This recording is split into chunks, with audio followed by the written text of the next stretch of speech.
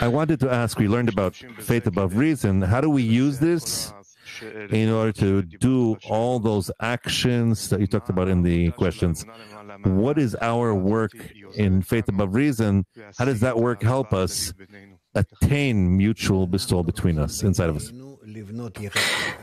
That we want between us to build such relationships that will be called the Creator. Come and see. There's no other way to discover the Creator if not through the relationships between us.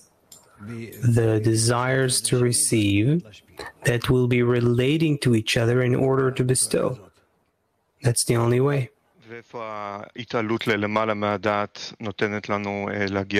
And where does rising above reason, what does that action give us? What does it help us? Because we're doing these actions of mutual bestowal above our will to receive, that everyone is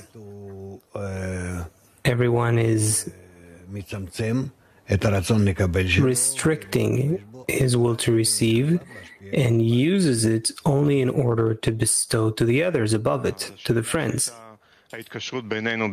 So the question had to do with the, the relations between us that we do and bestowal, we do above reason, meaning bestow itself is in faith above reason.